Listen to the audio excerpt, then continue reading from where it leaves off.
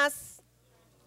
ただいまから予算特別委員会第三分科会を開会いたします。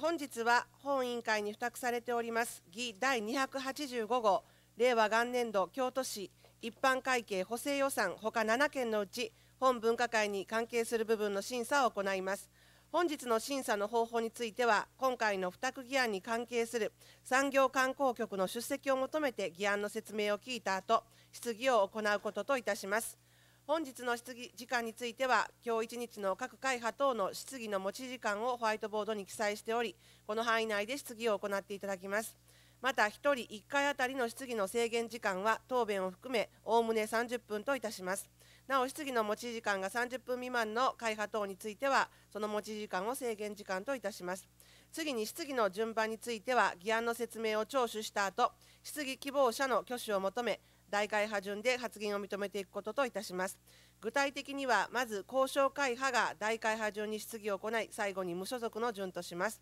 また質疑は付託議案から外れないようにお願いいたします。なお本日正午から理事会が予定されており質疑の途中であっても休憩に入らせていただきますのであらかじめご了承願います。それでは産業観光局の審査を行います。理事者説明願います、武田産業企画室長着席してご説明、はい、ありがとうございますそれでは補正予算案につきましてご説明を申し上げますお手元の予算特別委員会資料の令和元年2月司会産業観光局所管補正予算案の概要をお願いいたします。なお金額につきましては万円単位でご説明を申し上げます。それでは資料の1ページをお開きください。資料の上段箱書きの全体像にございますようにこの度の補正予算につきましては一般会計から10億1600万円の2事業の補正予算それから3事業の繰越免許費補正それと1事業の債務負担行為補正をお願いしております。また中央卸売市場第一市場特別会計から53億3100万円の補正予算と繰越免許費補正の計上をお願い申し上げますまず一般会計についてご説明申し上げます1融資制度予託金新型コロナウイルス対応緊急資金の創設といたしまして10億円の補正予算を計上しております。括弧1補正理由にございますように現在世界的に流行の兆しがある新型コロナウイルス感染症の発生に伴う観光客の減少等により経営面で影響を受ける中小企業者等の資金繰りを支援するため新たな融資制度を創設するものでございます。資料の2ページをご覧願います。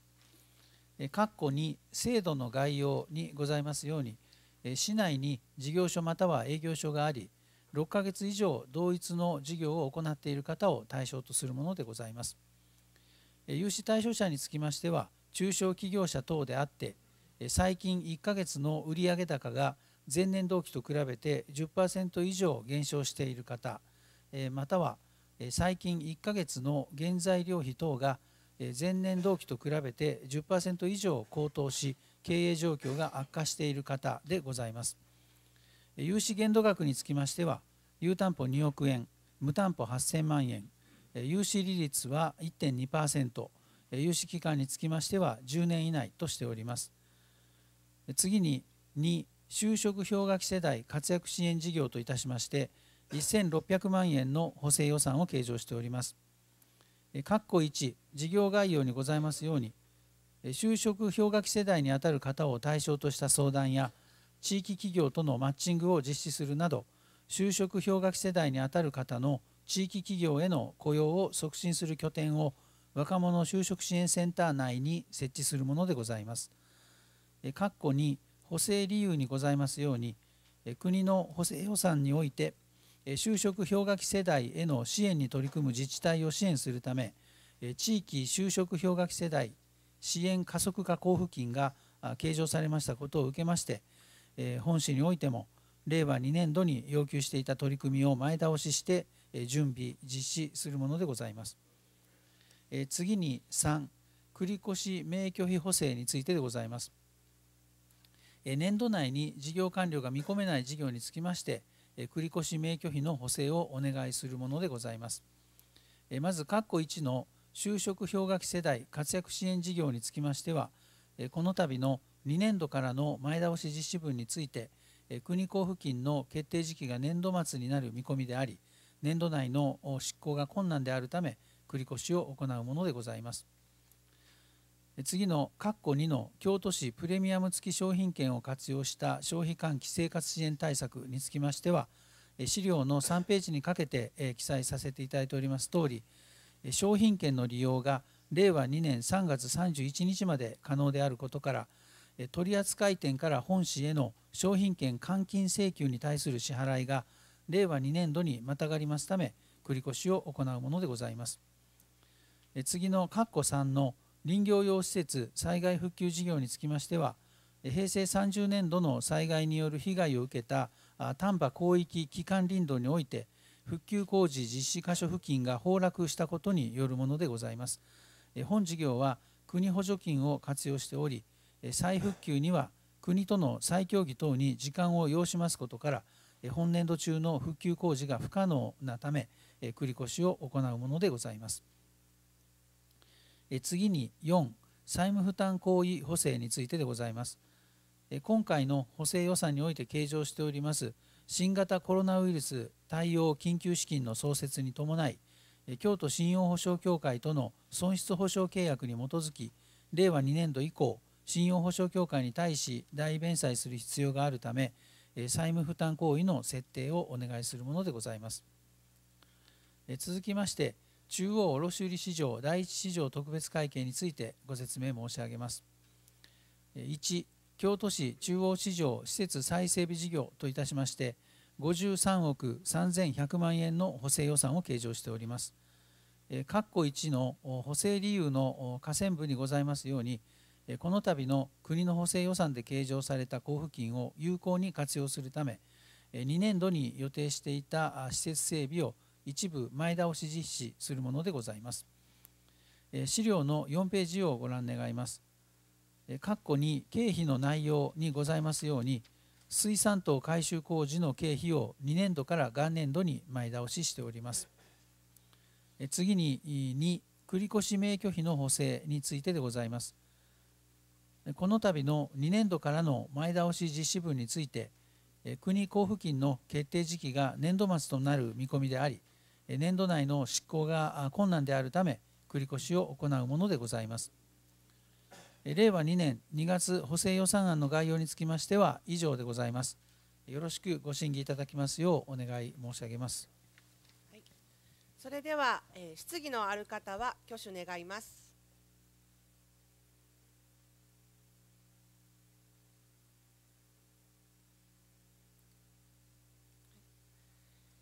ここで確認のため質疑通告者と順序を申し上げます。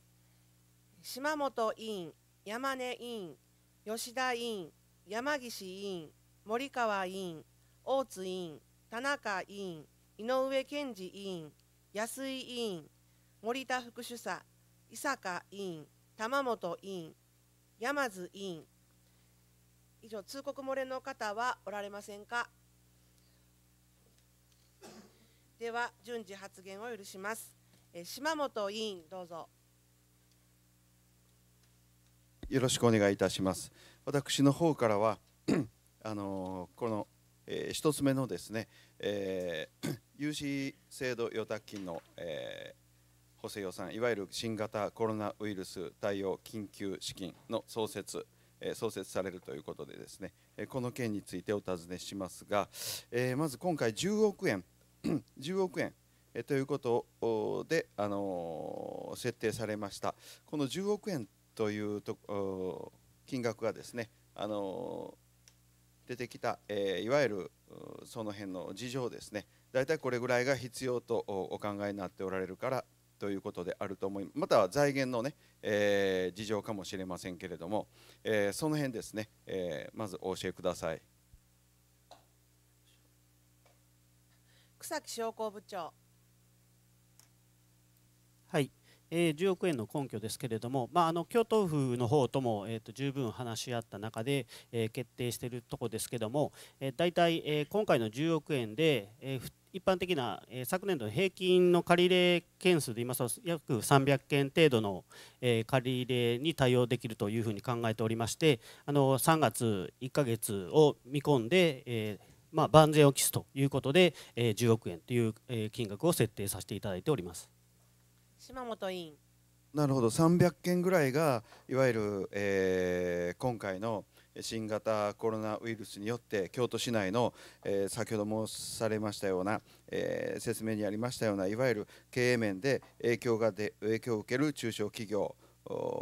の中からですね資金繰り、えー、京都に対、えー、市に対して融資を求めてくる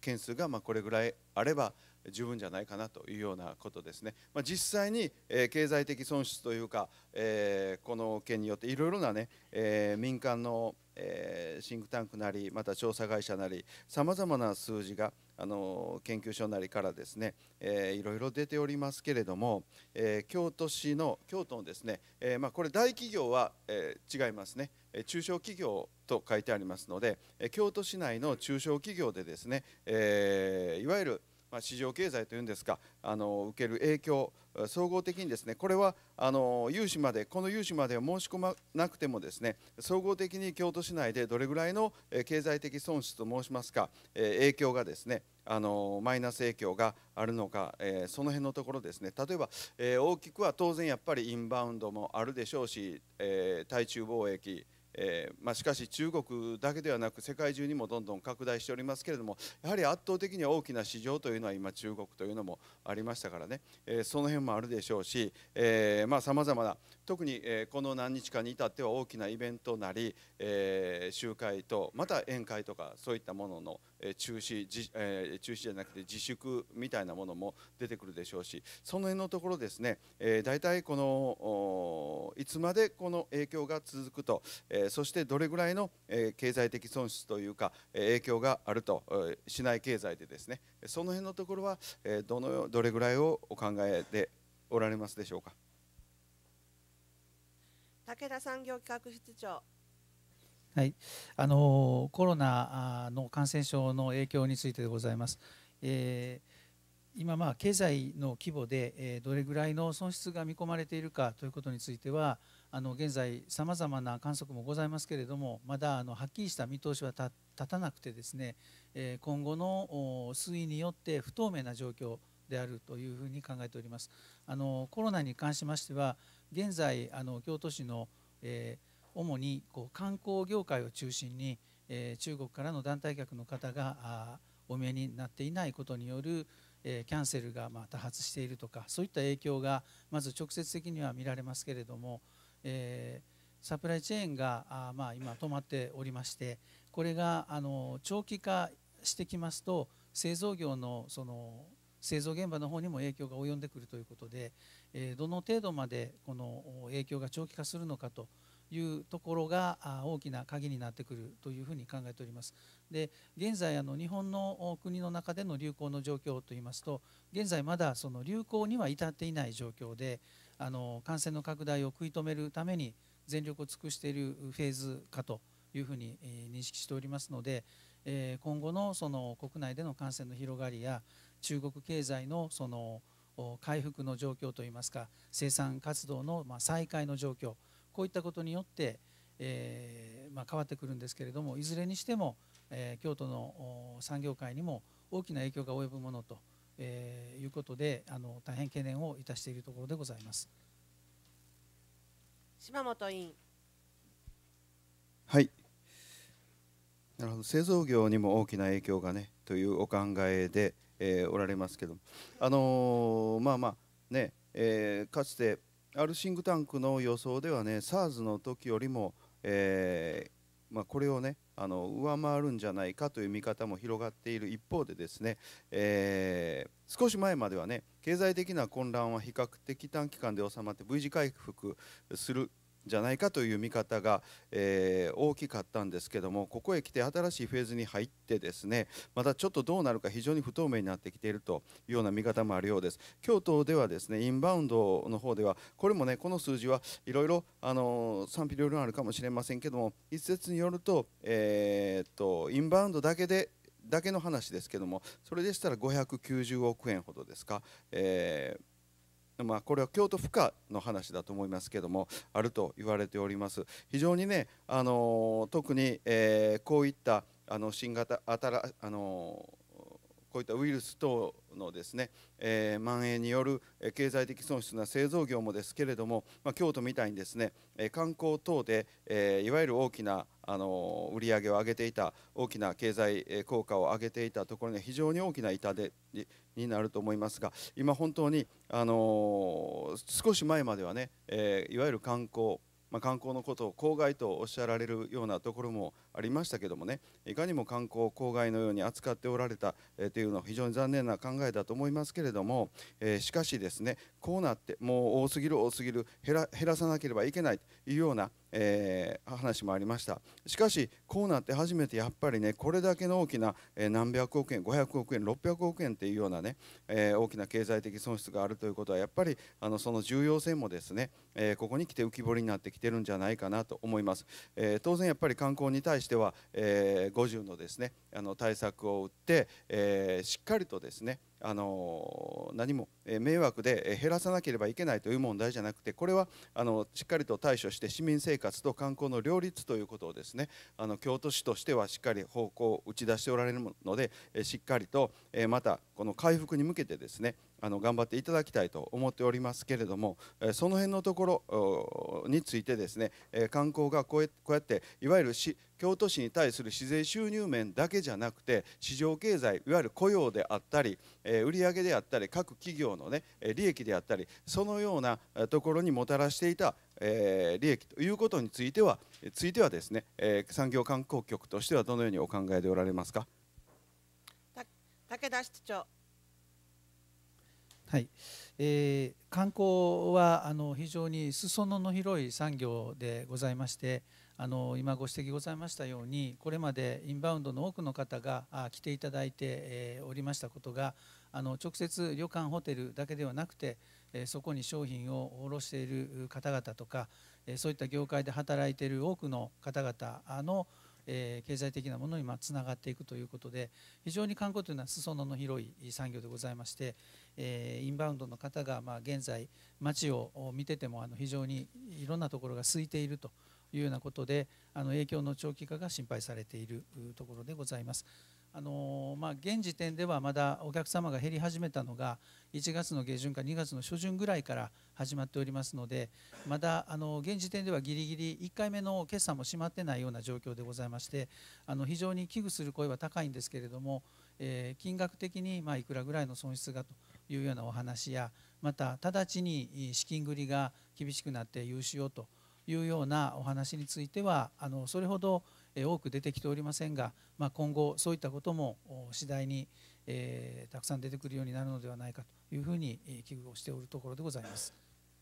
島本委員はい、わかりました。しっかりとしたその辺の取り組みですね、お願いしたいと思いますと同時に、また今回ので、えー、融資10年以内ということですけれども、過去もこういったさまざまな緊急融資とか、まあ、緊急じゃなくてもね、そもそも産業観光局の予算というのが年々、えー、毎年ですね370億円前後のうち300億円ぐらいがこの融資中小企業融資のための予託金ということでいわゆる自由に使えるお金ではない、えー、実質的な予算というのは70億円前後ですよね。預け入れてこれ置いとかなければならない、えー、お金ということでありますけれども、えー、非常にこれも市民の税金による、え、大切な予算でありますけれどもね。過去、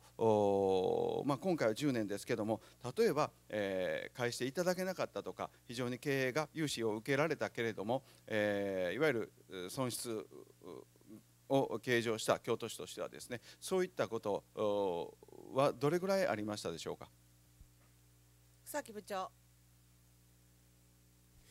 はい。あの京都市の方でもあの万が一、えー、返していけいただけなかった場合にはですね、まあ、損失補填金ということで、えー、毎年、えー、予算を計上させていただいているところです。でここ、えー、3年の、えー、と状況を申し上げますと、えー、昨年度は、え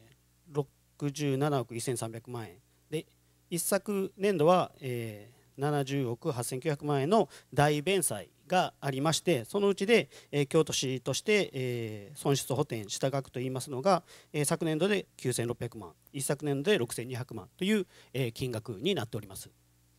島本委員。やっぱりあの、まあ、少なからずね、えー、何千万円何億円いう単位であるんですね。これね本当にあの難しいと思いますけれどもね、えー、まあ、市民の税金であるから、えー、何としてもあの返してもらわなければいけない、特別損失を計上してはいけないという思いもある一方でですねしかし本当に必要なところに、えしっかりとえー、資金供給、まあ、資金供給って変な言い方ですけども融資をすることによってですねそこがあのしっかりとね借金が多いから、えー、経営状況が悪いという一概にそうは言えないんですね、えー、無借金でもですねやっぱりあの経営というのは悪くなっていっ、えー、倒産するところがあればですね非常にどんどんどんどん増えているけど売上と人員とまた、えー、給与とか雇用とかどんどんどんどん増え続けているというところもありますね。だからあのこれ実際に貸し出されるのは銀行だと思うんですけども銀行さんにしてみたらですねあの責任もあるから、えー、かといって万が一、あの、返してもらえないといけないからということでやっぱりどうしてもね貸しやすいところここはいくら持っていてどうですかこういう制度がありますよ借りませんか？持って行ってもですねあの借りてくれる。借りてまた返すのもねどんどん利子つけてちゃんと返してくれるというところにやっぱり行きやすくなるもんなんですよね。その辺皆さんは審査の過程で、えー、全てあの銀行さんに任せておられるかやっぱりあの局としてもですねあの考えて審査か何かに、えー、基準か何かにですね関与しておられるのかその辺は、えー、どどのような形でこの融資の条件とか、えー、考えておられるんでしょうか？草木部長。はい、えー、基本的にはですねあのやはりあのプロでありますあの金融機関さんの方で審査はしていただいておりましてまたあとあの信用保証協会さんの方で、えー、審査していただいているという状況です。ただあの京都市としましても今先生おっしゃられたようにこの、えー、信用保証協会を通した融資っていうのはあの、まあ、一般的に銀行さんが設備投資的な部分で、まあ、課されるものとは違ってですね本当にあの困った方経営的に困った方を何とか下支えするという目的で、えー、行っているものですのでそういったあの困っている方にしっかりあの資金が行き渡るように、まあ、信用保証協会とも話ししながら京都市としても進めているところであります。島本委員、はい、もう最後にしっかりお願いしておきたいのはその辺のところなんです。本来の目的であるいわゆるこの一時的に一時的にこの状況によってこの新型コロナウイルスによってですねあの非常に資金繰りがショートしかけているとかこの何ヶ月間かこれが収まるまで、えー、しっかり会社経営が持てばですねあのその後はしっかりまたあのまあ、先ほどの話じゃないですけど V 字回復していただけるであろうというようなところにですねしかしそういったところ今までの過去の実績がないとか、えー、銀行としてはあまりねあの言っていない、えー、貸したくないというようなね、えー、そういったことがないようにしっかり目を光らすというと言葉悪いですけれどもあのその辺のところもあの任せきりにするんじゃなくてね、えおっしゃっていただきたい。いわゆる今まで、えあそここういうのこういう資金がこういう資金ができたであの融資制度ができたであそこ持っていったらまた借りてしっかりつけて返してくれるやろ。ここやったら安心やし。っていうような基準では絶対選ばないように。ということですね。あのしっかり助けるとか助け。逆にですねこれを利用して利用してというと悪いですけれどもやっぱりねあのー、これ以上被害が大きくならないようにストップして、えー、っていうようなあのアドバイスしなければならない会社も言葉悪い言いにくいですけれどもあるかもしれません。これ以上借りてもねあの経営状況余計悪化していろんなところに悪影響を及ぼすだけですよ。この辺でやめときなさいと。いうしそういった、あの指導アドバイスするのもねするのもこれは一つの指導だと思いますからそういったそうしなければならないところもあるかと思います。これは冷静にやっぱり判断しなければならないところが出てくるかと思いますので、えー、産業観光局としてやっぱり銀行を通してだけじゃなくてね、えー、皆さんの方からもそういったアドバイスなり、えー、考えを持って取り組んでいただきたいと思います最後にその辺お聞きしておいて終わります山本産業観光局長はい、ありがとうございます。あの金融機関もちろんあの十分、えー、連携を取りましてですね対応していくということを考えております。またあの、えー、少しあの補足をさせていただきますけれども、えー、っとその設備、えー、っと資金繰りまずこれ第一緊急の資金繰りの対応を今あやっておりますけれどもその設備投資、等もですねこれ先ほど先生のお話にありましたようにかなりその先々厳しいことになる可能性があると。いうことありますんでその設備投資等も含めてね、えー、できるだけ使いやすいものに、していくというのが必要なんじゃないかなというふうに考えておりまして、まあ、その辺りのこともですね、えー、十分、え金融機関あるいは京都府等々、え議論をしましてですね、え強調して、え万全の体制が取れるように、してまいりたいというふうに考えております。進行いたします。山根委員。えーと、よろしくお願いいたします。えー、私からはですね、えー、就職氷河期世代活躍支援事業についてお聞きしたいと思います。それであのまずこれあの支援の対象となる方なんですけれども、えー、30代半ばから40代半ばの方がいわゆる就職氷河期世代ということで言われるわけですけれども、あのまあ、国のこれ資料を見ていますとえー、まあ、その世代の中でですね、え、正規雇用を希望しながら非正規雇用になっている方々が50万人、まあ、こういう方々をはじめ、え、この支援対象となる方が大体100万人程度おられるというふうになっています。でそのうち、えー、この同世代の正規雇用者30万人増というのを目指すというふうに国の方ではなっていると。それで、あの事前にまお聞きしたところでは京都市の35歳から44歳の人口が、えー、大体約18万9000人で、まあ、そのうち雇用者数がですね、えー、13万8800人と。でうち非正規の方が4万1900人、えー、不本意の方がまあ十数パーセントおられるということをお聞きしたわけですけれども、えー、まずお聞きしたいのはですねそもそもこの就職氷河期世代と言われる方々がこれまで大変苦労されてきたのはですね本人の努力が足りなかったのか自己責任なのかですね。それとも社会や経済の側に、えー、主たる要因があったのかどうか。この点の認識はいかがでしょうか？安田人仕事環境整備担当部長。はい、えー、就職氷河期世代に、えー、関する認識でございますけれども、えー、就職氷河期の問題に関しましては、えー、パブルの崩壊後、えー、経済低迷期にありましてその時代を生きたえー、個人にではなくてですね例えば政府ですとか企業とかそういったところにも原因があるとされておりますので本市といたしましても就職を決まらないまま卒業し非正規を働かざるを得ない人が続出したこの就職氷河期というこの不遇の時代を生きてきた人一人一人に全ての原因がないとあるとはいう決してあの考えていないというところでございます。山根委員、えー、そうするとまあ全てその個人に責任があるということではなくて企業や政府にも原因があるということが言われているということでですね私大変重要な今認識をおっしゃっていただいたというふうに思うんです。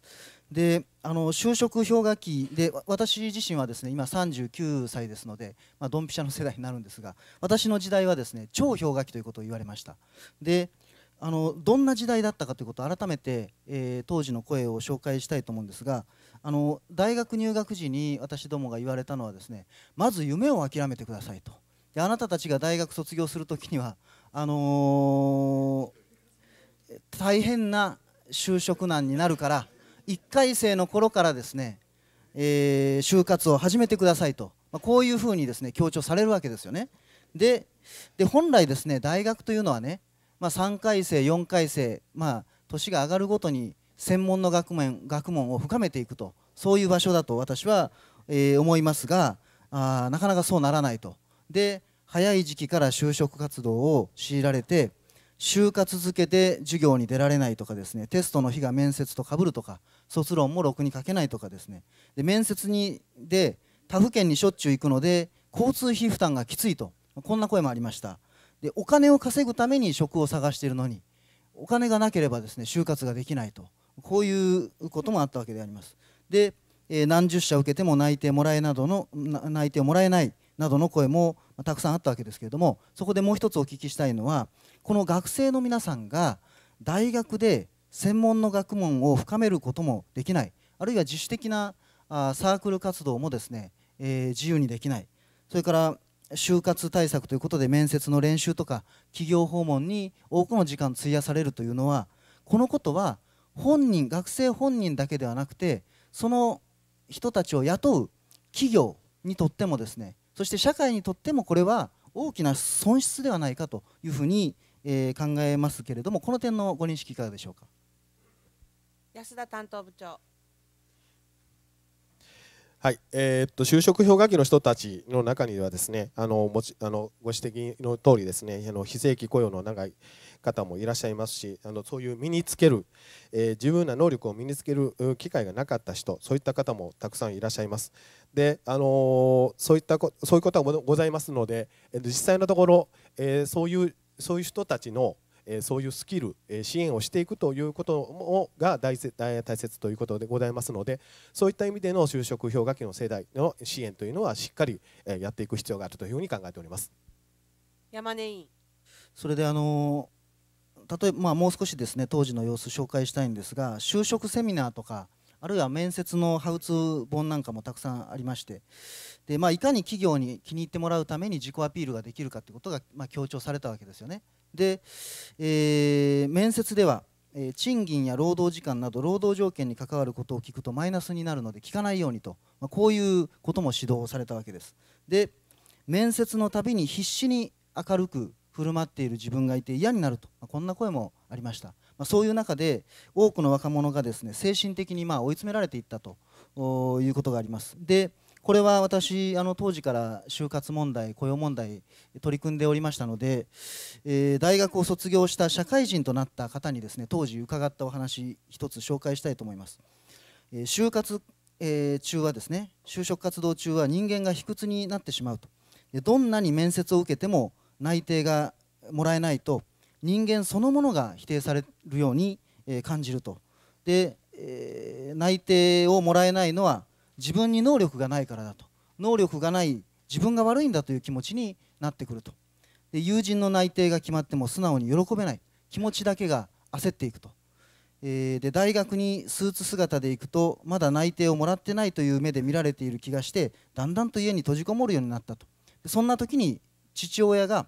どうしても仕事が見つからなかったらお前一人ぐらいは何とか養っていけるから心配するなと言ってくれたので気持ちが楽になって、えー就職活動を続けることができたというですね、まあ、こんな声もあるわけですよね。であの求人そのものが大変少なかった時代で何十社面接受けても内定が出なかった時代に誰にも頼らず自力で、えー必死に努力してきた、まあ、そういう方が本当にたくさんおられたのがこの就職氷河期世代だということを私はですね、まあ、同じ世代の一人として申し上げておきたいと思うんです。でそこで、えお聞きしたいのはですねもう一つお聞きしたいのは、まあ、当時ですね、えー政治がやったことは何かと先ほど少しありましたけれどもこの今35歳から44歳の方々がいわゆる大学卒業する時期ですね22歳の頃これは1998年から2007年ぐらいの、まあ、時期だったわけですけれどもこの当時ですね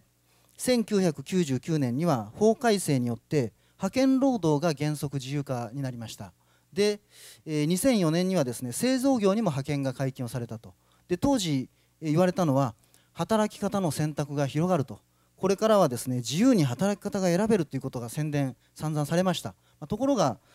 その後どうなったかと言いますと不安定雇用低賃金の雇用が、激増してですねリーマンショックの際には大量の派遣切りが行われるという事態になったわけであります。私はですからこういう事態はですね何、まあ、就職氷河期って言ったらなんか自然現象のようなあ表現になってるわけですけどこれ自然現象ではなくて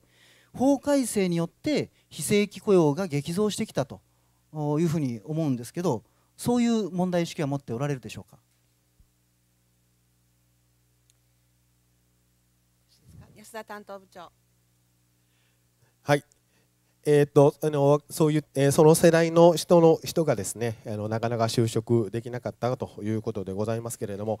えーそもそもその若者の就職支援ということでですねこれまでも取り組んできたところでございまして、えー国の方もそういった取り組みを進めてきたところでございますあの現在若者就職支援センターというのはありますけれどもその前身となるフルカバー学生等就職支援センターというこういう取り組みがありましたでこちらについては若者就職支援をしっかりやっていこう、それで、えー、雇用情勢の改善そのそういったこともありまして、えー、現在、雇用情勢も若干進んできて、えー、有効求人倍率も非常に高くなってきているというような状況でございます。えー、そういったことでございますので、あの決してあのこれまであの国がですね、そういった事態が起こっていることに対して、えー、何もしてないというわけではなくてですね、あのそういった事象が起こったことに対しての対応というのは取ってきたということで認識しております。山根委員あの私はね今お聞きしたのは取り組みについてということじゃなくてですね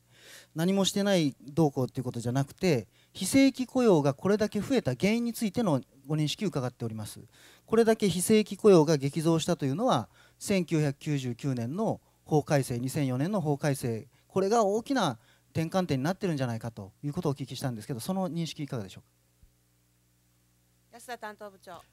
はい、えー、非正規雇用があの増えた原因についてでございますけれども、あのさまざまな要因があると思います。えー、そういあのそういった要因につきましても一つの要因にになっている可能性もあるというふうには考えております。山根委員。一つの要因ということをおっしゃいましたが私はこれがですねあの非常に大きな要因だということは申し上げておきたいと思うんですねであの自ら非正規を選ぶ人もいるじゃないかという声もあるかもしれませんただですねあのそれならなぜ非正規雇用を今あの京都市としても国やあ経済界に求めているのかということになるんですよ。やはり正規雇用が大事だから求めておられると思うんですね、そのことを。であの今正規雇用拡大についてですね国や経済団体について京都市も要請されているということをお聞きしました。これは非常に私は大事なことだと思っています。しかしそもそもこの雇用の流動化非正規雇用を増やそうというのが経済界のですね要求だったわけですね。でそれに応える形で法改正がされてきたわけですからで非正規雇用率というのは90年代の半ばまでは大体約20%前後でした。1986年にもともと派遣法ができましたので。で,、えー、で法改正後ですね現在ではもうこれが40%近くに非正規雇用率が増えてると。でやはり私は雇用は正社員が当たり前になるようにこういった派遣法の抜本改正こそ京都市がですね求めるべきじゃないかと。非正規雇用率政令市の中でワーストレベルにあるというのが京都市の実情ですから京都市こそぜひこういうあのただ単に国やあ経済団体に増やしてくださいという要請をするだけじゃなくてその大元にある法改正を京都市が求めるべきじゃないかと思いますがいかがでしょうか？安田担当部長。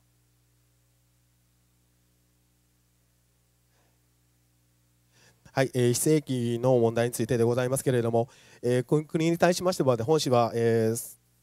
例年ですね、あの就職、えー、就職氷河期にの世代に支援については限定しているわけではないんですけれども、非正規雇用から正規雇用のへの転換の促進に向けた支援の充実ということで、これまでも要望を行ってきたところでございますし、え、経済団体に対してもそのような取り組み、えー、正規雇用化、また非正規雇用労働者の処遇改善ですとか有期契約労働者の無期転換への円滑な実施とか質の高い安定の雇用の拡大について要請を行っているところでございまして引き続きこうした要望を国に対しても行ってまいりたいというふうに考えております。山根委員。まあだからその範囲にとどまっていては私はあの根本的なところになかなか行き着かないんじゃないかなと思うんですね。であの正規雇用が当たり前の社会長時間労働の是正あるいは最低賃金アップそうやって働く人の賃金が上がってですね労働環境が改善をしていかなければですねいくら個々の方々の就労支援をしてもなかなか根本的な問題は解決しないんじゃないかということを申し上げたいと思います。ただそれでも、えー、それでもですね国や行政が今おっしゃっていただいたように今対策に乗り出すということになったこと自身はですね私本当に重要なことだというふうに思いますのでこの支援の対象となる方々のニーズにかみ合ったものに、えー、今回のものもですねぜひなるようにしていただきたいと。でその立場からいくつかもう少し確認をしておきたいと思います。でこれ事業の内容としてはですね、えー、今回その相談ですね地域企業とのマッチングということ、まあ、その拠点を若者就職支援センター内に設置をするということなんですがこれはあの要は具体的には新たにこの相談員の方を雇うということで、えー、よろしいんでしょうか。で、まあ、その場合はですね何人ぐらい増やすのか。で雇用形態はどうなるのか。その点を教えていただけますか。安田担当部長。はい、えー新たに設置するコーナーにつきましては、えー現在の若者就職支援センターの中に、えー開設するというふうに考えております。えーこの、えー件につきましては、えー基本的には、えー人員体制、えーを若干、えー現状よりも増やす感じ、えー2人ぐらいの動員を考えておりまして、えー業務委託の中で、えー考えているというところでございます。山根委員えっと、業務委託ってことは、まあ、契約の形態というのは今、まあ、派遣の方々があのされていると思うんですがそういう形になるわけですかね。安田担当部長はい、えーっと契約したあの企業さんあのその中でどのようなあ形態で、えーその方を雇うかというのはあ今後契約の中であの明らかになっていくものと考えております。山根委員であのこの1600万円の内訳についても少し、えーあれですけどあの国補助が1200万円で市一般財源400万円ということでで国はですね3年間の集中支援プログラムとしているんですが、えーそこで京都市としてはですねこの2021年2022年ですね、えーの年度の予算化というのは今どう考えておられるのかということとそれから仮に国がこれ3年でもうやめますと言った場合に、えー京都市独自でその後お継続ってことを考えられるのかどうか。その点はいかがでしょうか？安田担当部長。はい、えー支援をいつまで実施するかというようなあ話でございます。えー国のこの、えー就職支援の世代、年えー就職氷河期世代の支援プログラムにつきましては、えー3年間集中プログラムということでございますので、えー京都市におきましても、この就職氷河期世代の活躍支援コーナー支援につきましては、基本的には、えーへ令和4年度末までを目途というふうに考えているところでございます。山根委員うんまあ、ということは、えー増員を2人ほどするんだけれども基本的には4年令和4年までということなんでしょうか？安田担当部長はい、えーそれ以降につきましては、えーこれまで同様にあの、えー広く非正規雇用労働者の正社員転換の取り組みの促進などに取り組んでいくこと、お若者就職支援センターの、えー取り組みを行っていくことになると思うんですけれども、今後3年間の事業の効果ですとか実績とかそういったものを踏まえまして、えー検討していくことというのはあり得ると考えております。山根委員まあ、今後はですね、えー検討されるということなんですけれどもその今もおっしゃっていただいたようにこれまでもまあ相談活動とか企業とのマッチング活動は事業はまあされてきたわけですよね。でただやはりそういう中でも他都市と比べて非正規雇用率が高いのが京都市の現状でありまして私はせっかくまあ相談員を方を増やしてもですね、まあ、この3年先がどうなるかわからないということで、えーまあ、いいんだろうかと。で正規雇用拡大というのを目指しながらですねそういう相談員の方が相談する側が非正規ということでいいのかということも強く思うわけであります。で私はやっぱりせっかくですねこういう機運になってるわけですからこれを機にですね若者就職支援センターの体制強化をすべきじゃないかと。でもっと言えば、えーこの雇用対策そのものをですねあの産業戦略の一部っていうことじゃなくて労働者の立場から雇用問題を専門に扱う部局をですねぜひ立ち上げていただきたいと、えーそんなふうに思うわけですけどその点はいかがでしょう？安田担当部長。はい、えー若者就職支援センターの運営体制でございますけれどもえ現状におきましても、えー7名のスタッフがえー従事しているというような状況でございます。えー今あの若者就職支援それから、えー令和2年度で、えー以降で考えております、えー外国人の雇用の窓受け相談窓口ですとかそれから、えー就職氷河期の問題こういったものもございます、えーこういう新たな問題も出てくるものもかん、えー絡めましてですねすべてこのセンターで進めていくということでございますので今後も、えーこのセンターで何をしていくべきかというのをしっかり考えながらですねあの体制についても、えーこれ基本的には業務委託でございますけれども業務委託の中であのいかにこの人材をうまく活用していくかというのをしっかりあの相談しながらやっていきたいというふうに考えております。山根委員そうすると現状は7名でやっておられるという話でしたね今。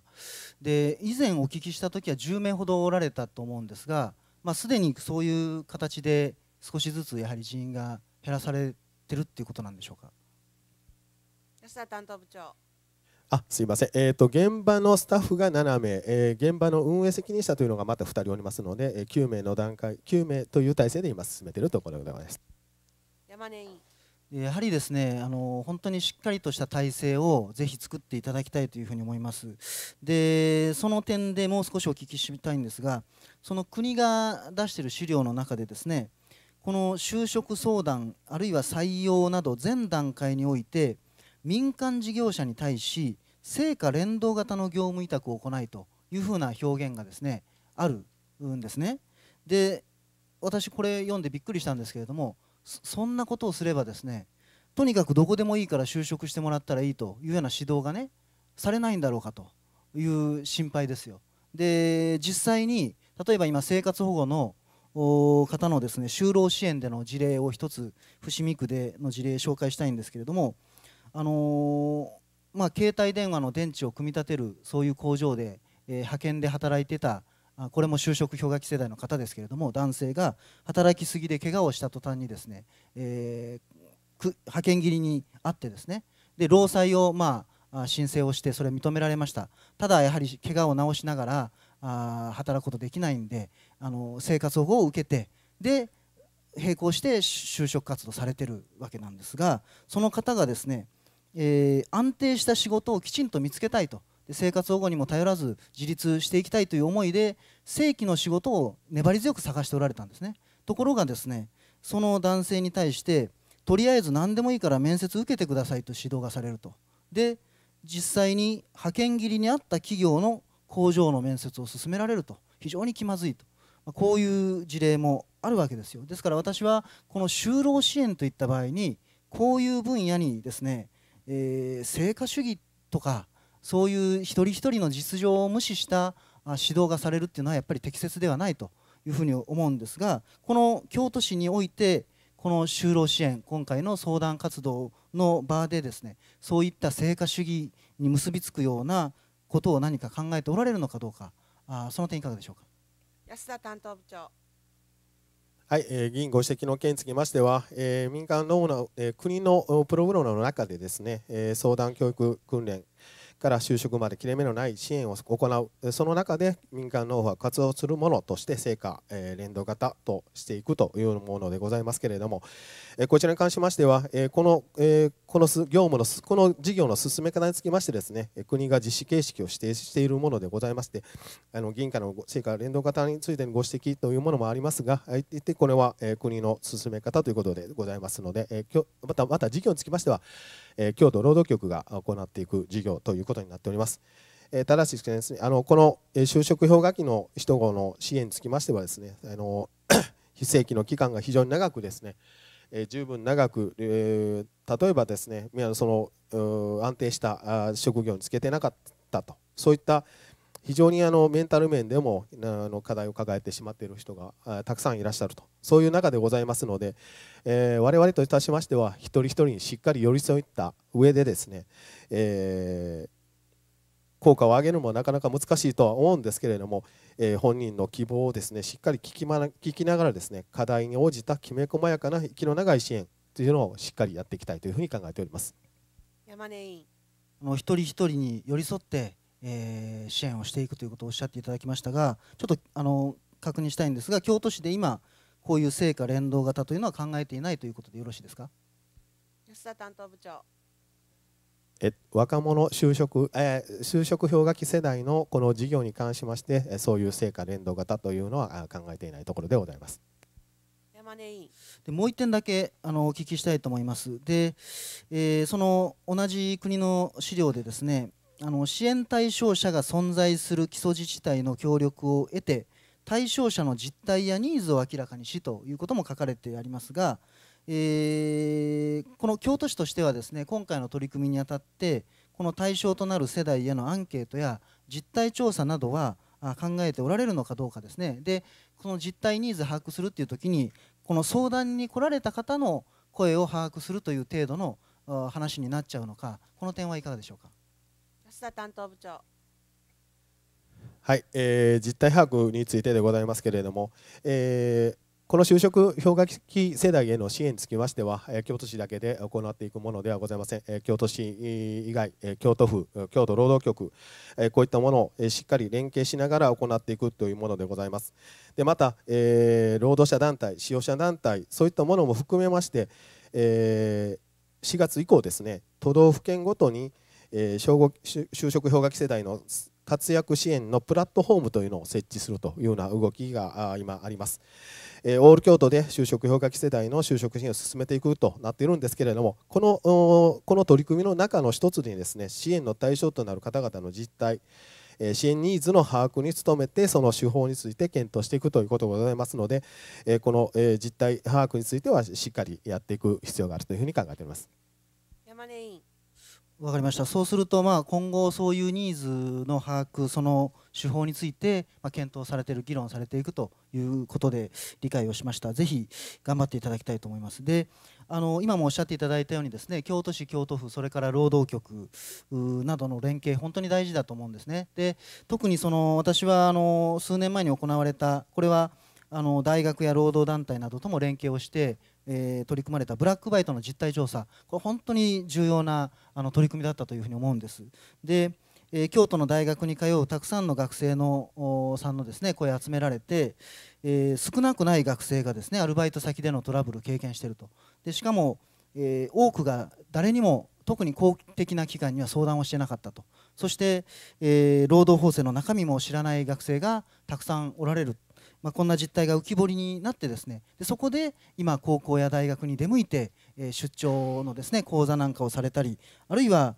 このブラックバイト相談窓口を知らせるための名刺代のカードなんかも作られてですねその周知に頑張っておられるということなんでやはりその実態をつかんでこそですねあの噛み合った対策が打ち出せるというふうに思いますので今おっしゃっていただいたようにこれから検討を議論されるということなんですがぜひ実態調査取り組んでいただきたいと思います。それで、えー、あとまあ、そのブラックバイトの相談窓口にしてもですね、まあ、キャンパスプラザの、えー、6階でしたかね。6階ですね。ですから入っただけではなかなか分からなくって、えー、っていう声もこの間もいただいてきました。で、えー、今回の新しく、まあ、そういう拠点を設置するということについてもですねぜひブラックバイト相談窓口とも合わせてですねぜひたくさんの方に周知をしていただいて、えー、知っていただくということも最後にまあお願いをして終わりたいと思います。よろしくお願いします。進行いたします。吉田委員、えー、よろしくお願いいたします、えー、就職氷河期の世代の方々の、えー、支援をする事業ということでありまして、えー、地域企業への雇用を促進する拠点を設置ということであります。そこでお聞きしたいんですけれどもこの地域企業への雇用の促進である、ね、その雇用なんですけれどもこれは正規雇用ということがもうメインであると。それに限定しているというふうに受け取ってよろしいでしょうか。例えば厚生年金や、えー、労災また退職金等もしっかり完備されているそういう雇用をやっぱり、えー、なんとか促進をしていこうというふうに受け止めていいのかどうか。その点をお願いいたします。安田担当部長。はい、えー、就職氷河期世代への支援につきましては基本的には非正規雇用とかそういった不安定なあの就労されている方をいかに安定した就労に持っていくかというのをこと考えておりますので、えー、基本的には今、えー、議員ご指摘な通りのそういったあ正規雇用を目指しているというものでございます。吉田委員。えー、分かりました。もうぜひね期待をしておりますのでねぜひ頑張っていただきたいと思います、まあ、支援の対象の方々、まあ、いわゆるこの氷河期世代の方々は30代半ばから40代半ばの方々であると。でその方々の中でその非正規の仕事に従事されている方々は4万人おられるということであります。では今回の支援をされる対象の方はその4万人の方であると同時にですねそれ以外の方どうなんでしょうか。例えばアルバイトだけの方、えー、季節的なね仕事しかなかなかできない方ですね。一般企業にもあるいはこの公共機関にも働いてるけれども正規雇用じゃない人は当然まあそのおられると同時にですね、えー、学生さんがやられるようなアルバイトしか、えー、今されておられない方々こういう年齢であってもですねそういう方々も含むのかどうかあるいは無職の方もどうなのかという点ですねこれも気になるんですけどいかがでしょうか？安田担当部長。はい、えー支援の対象でございますけれども、えーまあ、基本的にあの非正規の雇用とかそういった労働者の方が中心になってくるとは思うんですけれどももちろんあの議員ご指摘の通り無業者の方もいらっしゃいますし中にはあの正規雇用で非常にあの現状の雇用にですね納得いっていない方もいらっしゃるということで、えこの就職氷河期世代の支援の対象というものについては若干幅広く見ていく必要があるかなというふうには考えているところ。吉田委員。まあ、今ご説明にあったようにですね現実現現在も正規雇用だけれどももう非常に待遇としてあの自分としては納得できないという方々も新たな正規雇用へのあの転職をもを考えておられる方も当然おられるわけです。でそのいう方々に対する支援も含むという点でありますので大変、えー好ましい期待をされるものであるとあの思っております。でちょっとあのこの、まああの今回は、えー令和2年度の予算で、えーされるはずだったところを、まあ、あの国とのいろんなやり取りの中で、えー前倒しをして、えー補正予算で今回ね、あのご提出されたということであります。でであれば、まあ、言うたらこのスタートも早まるじゃないかというねあの期待をするわけであります。それでいかがですか？あの拠点の中での動きが始まるあるいは増員とかのタイミングですね。これはどういうようなあのタイミングをお考えになっていらっしゃるのかでしょうか？安田担当部長。はい、えー就職氷河期世代のこの、えー支援、えー活躍支援のこう拠点となるえーコーナーの開設につきましては、えー現時点ではですねその専門の相談員を配置するとかまた人員体制を拡充するということで一応本格実施につきましては4月以降を考えているところでございます。しかしながらあのこの就職氷河期の問題についてはあの非常にあの重要な問題でございます。え現時点におきましても就職氷河期世代からのお問い合わせというのが若者就職支援センターの中でもいただいているところでございまして、えそうした相談につきましては若者就職支援センターの現現在の体制の中で、え予算の中で、え可能な範囲で対応しているというところでございますので、え今後補正の予算の具決をいただき次第ですね速やかにその人員体制スペースの確保ですとかその4月からの本格実施に向けた準備を進めていくことをしますが、あの就職氷河期世代への支援につきましてあの全くあの現時点でも行っていないというわけではないということであのご理解いただけたらと思っております以上でございます吉田委員まあ、今あの若者のあの支援センターをですね、うん、かあののお取り組みを拡充されるということでそれはもう早く早早早くスタートしていこうと協議を開始しようということですよね。でそれ現在も委託されているのは民間の委託先であるということであります。えーそういう方々との協議を、まあ、あのこの補正が成立し次第ですねスタートされてどういう人を拡充していくのか採用していくのかまたどういうな、あの体制強化するのかまたどんな動きが、えー始まっていくのか企業側に対するアクションであるとかねそういうこととかも、まあえー協議が始まっていくというふうに、まあ、私は、えー受け止めました。その上でそういうあの今後拡充される方々のスタッフの在り方というんですか人材のポイントというのね私は非常にき、えーえー重視をさせていただきたいと思います。というのは今まではまだ、えー学生さんやらあるいは20代の方々へのねアドバイスそういう方々のマッチングへのいろんなさまざまな情報提供であったりカウンセリングが主だと思うんですけれども今回からは30代後半4とか40代を超えておられる方々もたくさん今後来られてそういう方々の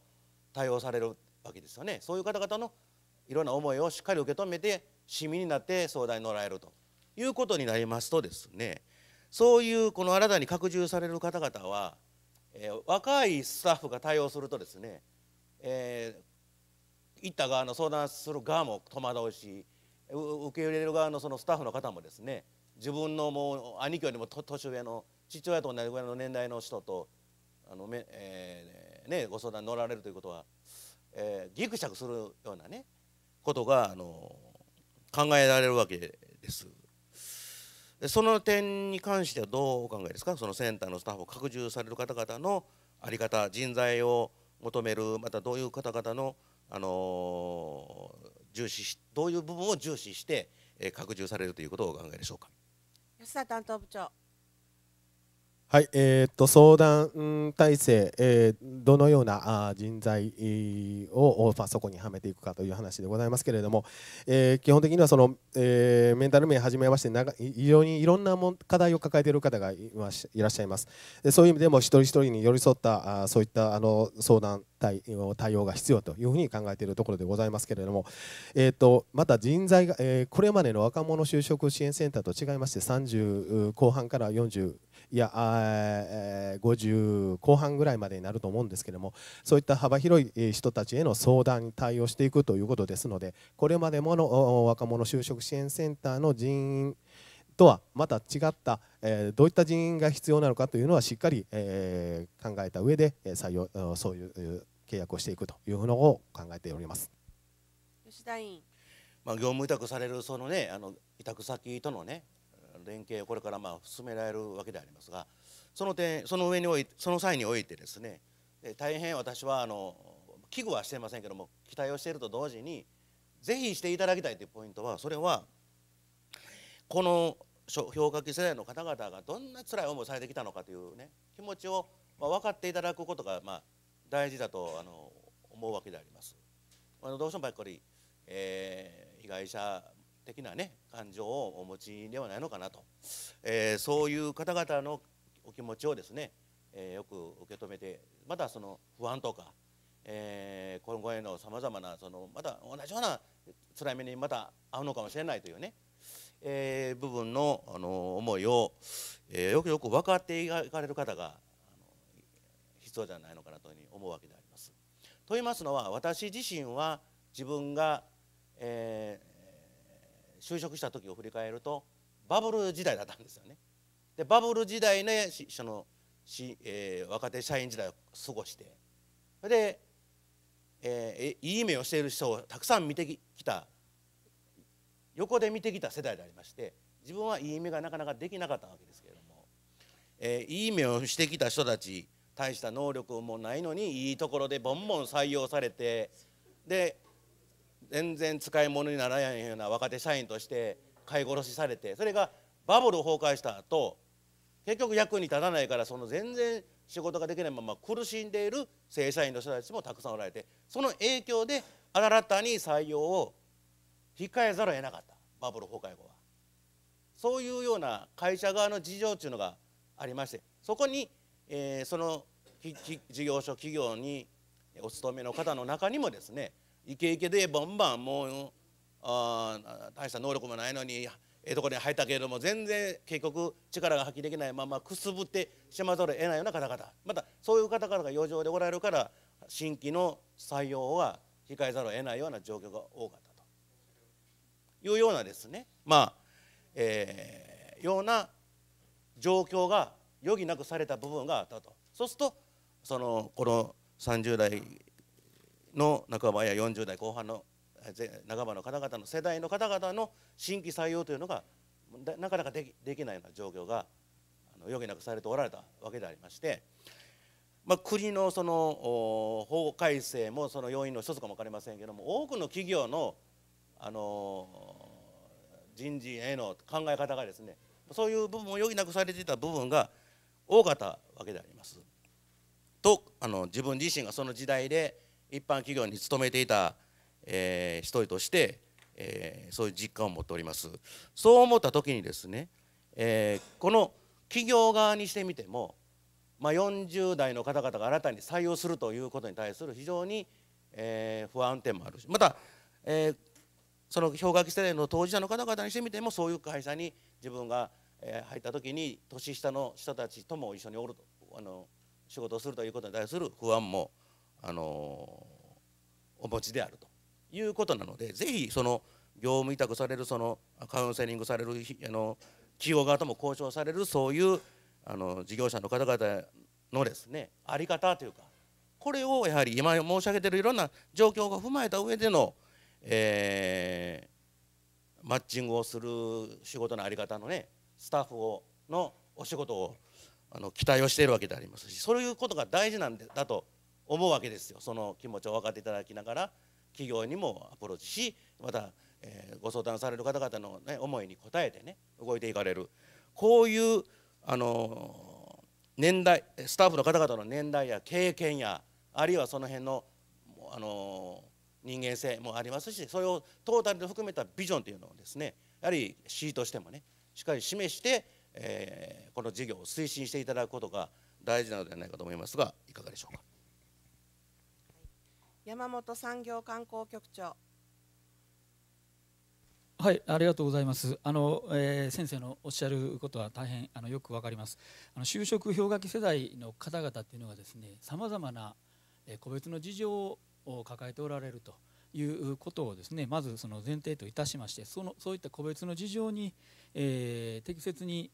えー、寄り添いまして、そして、えー、必要なマッチングなり、必要なその期間につないでいくというようなことも含めてですね、え対応していくことが必要なんだろうというふうに思っております。もちろんそのスタッフの方々、えそういった経験えノウハウお持ちの方々にお願いをしようというふうには考えておりますけれどもこれはそのそのスタッフの方々だけが対応するんじゃなくてですねそういったところのいろんなお話を、え京都府あるいは労働局とも十分連携を取りましてまた、えー、我々のところの福祉とか保険の部門とも連携をするような形まで含めてですね対応していく必要がございますんで、まあ、そういったことも含めてその窓口の体制を整えてまいりたいこのように考えております。吉田委員、まあ、今ご答弁いただいたことを私は求めようと思って おったんですけどね、まあ、そのもうすでにこう、えー、それをお約束いただいたんでぜひですねあの国府とも連携を取っていただいて信用スタンスを明確しながら事業の推進をしていただきたい。特にですね、えー、数でねどんどんこう評価されるという部分ではなくしてやっぱり今先ほど来もずっとご答弁ありますように一人一人に寄り添っていただいて適切なマッチングができる。そして、えー、お互いの選択が幸せな選択するようになっていけるためが大事に行うことが大事でありますしポイントとしてはそのあの就職雇用された方々が定着されていけるようなものががであるかどうかということが大事だと思いますので、えー、この事業所側企業側に対してのアプローチもそうですしまたお一人一人のその当事者の方々への、えー、ご助言アドバイスさまざまなあの、えー、ご支援をされるにあたってもですねこの方々がこの、えー、入った企業で活躍をされるとでお互いがあのウィンウィンで、えー、相互に喜ばれるということをしっかりやっていただきたいということでその点のご決意をお聞きして最後終わりたいと思います。吉田担当部長。はい、えー、就職氷河期世代の方々に対してですけれども、もちろんあのご指摘の通りですね、相談への対応ですとか、えー、情報提供、それからマッチング、こういったものももちろん必要ですけれども、えー、何よりもですね、そのしっかりその企業でですね正規雇用で長く働いていただく性定着支援といったものも必要でございます。え就職もしっかりですねあのフォローアップするなどですねきめ細やかな支援をするということで就職氷河期世代に限らずですね、えー、幅広くその、えー、若者就職支援隊の中で、えー、定着支援の取り組みをしっかり進めてまいりたいというふうに考えております。進行いたします。山岸委員、はい、どうぞ。じゃよろしくお願いいたします。私まずあの新型コロナウイルス対応緊急、えー、資金の創設のことでお尋ねをいたします。えー、今ですね本当に、えー、この新型コロナウイルスでですねもう連日新聞があの賑わっているような状況でございますけれども、え、これに関してですねまあ京都の場合は1月の終わりぐらいからですねやっぱり患者さんが出てきてこう対応がやっぱりこう変わってきたとステージが変わってきたという状況でございますけれども現在この実態をですねどのようにあの調査されているのかその、え、こういろいろ影響を受けているその企業さんのですね調査っていうのはどんな状況になっているのか先ほどはまだあの1ヶ月経過してないのでそれほど、え、どうですかえー、なんか深刻な状況も見受けられないというようなことでございましたけれども、えー、今掴んでおられる状況について教えていただきたいのと、まあ、どんな形でこう情報収集をの体制をとっておられるのかということについてもお尋ねをいたします。武田産業企画室長。はい、ありがとうございます。あのコロナの影響でございますが、あの非常にまあ深刻な状況が今広がってないということではなくて、あの企業さん業事業者さんによっては、えー、大きな影響、例えば観光業界の方で、えーキャンセルが7割とか8割に至っているというようなお声も聞いております。まあ、それが全市に広がっているわけでは今のところまだないんですけれどもあの事業者さんによっては非常に深刻な状況のところも出始めているということでございます。でそのそういった産業界の状況ですけれども、えーまあ、まずあの窓口作っておりまして、えー、商工会議所とかですねそのいろんなあ経営支援の窓口、えー、京都市と商工会議所は窓口を一緒にしておりますので京都市の窓口がまあ会議所さんの経営支援センターの、え、市内にある拠点があ南とか北部とかあのあるんですけれども、まあ、そういったところでのご相談内容なんかもお聞きをしております。であの融資も始めておりますのでそういったことで市役所の方にも電話があの問い合わせがある、まあ、そういったこともあのモニターをしてて今あの時点ではあの、まあ、多いのか少ないのかということで70件ぐらいのいろんなあの融資だけではございませんが一般的なお問い合わせも含めて、えー、そういう電話が、まあ、ある状況でまたあの商工会議所さんの方では独自に、えー、会員企業に対する調査を行いましてすで、ー、に影響を受けているところと今後影響を受けそうだというところ合わせて、えー、9割ぐらいの方がですね、えー、影響を受けるということを懸念されておられる状況とか、まあ、そういったことをあの把握をしているところでございます。で産業界だけではなくてあの例えば会社にお勤めの方非正規の方だと思いますけれども、えー、例えばその宿泊施設の、えー、お掃除ですとかベッドのシーツ交換ですとか、まあ、そういった仕事があいつも行っているところからまあお声がかからなくなってちょっと今日は仕事がないといった、まあ、そういう状況もあるということで、まあ、そういったことにつきましては私どもの窓口で直接全部聞けるわけではございませんのであの市役所のいろんな局の窓口全部でまあ入った状況を共有をするためにですねあの町内の連絡会議もすでに立ち上げておりまして保健福祉局文化市民局などなどですねあの横の連携を取りながら、まあ、あらゆるチャンネルで現在の状況をまあ把握しているところでございます。山岸まあ、あの本当今後ともですねあの、えーしっかりとその情報収集まずそれが非常に大事だというふうに思いますので、えー、引き続きよろしくお願いしたいなと思います。それとこういうあの、えー、融資制度ができたというその制度の周知ですけれどもやはりあのできるだけこう広くですね皆さんにこう中小企業の皆さんに行き渡るようにあのしなければならないと思うんですけれどもその辺の工夫についてはどうされているのかお尋ねをいたします。草木商工部長。はい。あのこういった通知につきましてはあの情報に漏れがないようにあの各経済支援機関を通じましてあの市内のあの企業さんにあのまんべんなく渡るようにあのメールマガジンですとかあのであのお知らせするようにさせていただいております。山岸、はい。まあ、あのその辺もですね、えー、ぜひお願いしたいのと、まあ、今回のこの、えー、緊急資金ですけれども、えー、既存のあの融資制度があると思うんですけれどもこれとこう中身を見ておりますとそのどうですかね、えー、経営が悪化するのがこう3ヶ月から1ヶ月というちょっとこう短期間になったという以外にですね、えー、この制度の違いっていうのはどういうところにあるのかそれについてお尋ねをいたします。草木部長はいあの一番大きいのが今先生ご指摘いただいたあのやはりあの3ヶ月ではなくて緊急を要するということで1ヶ月の売り上げを見込むというところですが、まあ、あの金利につきましてもあの既存の金利の最低金利の1.2%という金利にさせていただいてますしあの期間も10年ということであの一番有利なあの条件という形にはさせていただいております。山岸、はい、それからやっぱりこの名前が緊急資金というふうについてますんでねやはりその相談を受けてからね融資を実行するまでのその期間のスピードっていうのもですね非常に大事なんではないかなと思うんですけども通常やったらこれぐらいやけれどもこの緊急資金を適用するっていうのであればですねもっと早くあの融資できるのかとその辺はどうなんですか？佐木部長。はい。えー、ちょっと融資の審査につきましてはですねやはりあの個々の企業さんのあの内容にもよりますので一概に早くできるということはあのちょっと申し上げられないんですけどもあの、まあ、今回あの名前にもありますように緊急融資ということで、えー、我々としてもできるだけ速やかにあの融資が行われるように金融機関には求めていきたいというふうに考えております。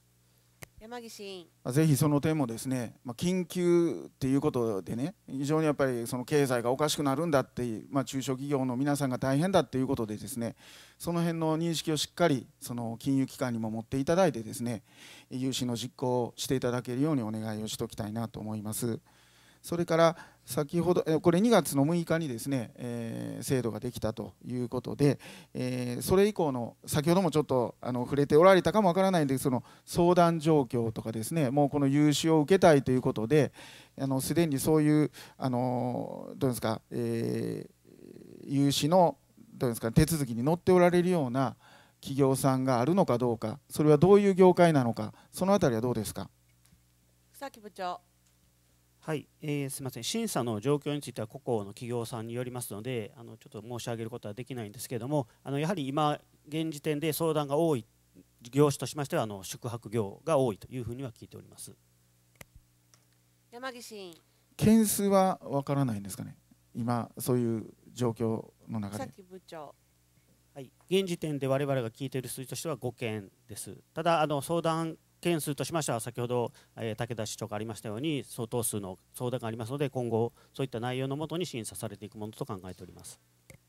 山岸委員。はい、それからあと、まあ、影響がですね今のところは、まあ、ちょっと出始めた状況やっていうことですけれども、えー、さらにこれが深刻化しそうだとかいうような場合に、まあ、融資額をですねこうえー、枠をですね拡大するとかですね期間を今は9月の末っていうふうにあの限っておられますけれどもその辺のところもですねあの考えていく余地があるのかどうなのかそのあたりはいかがですか？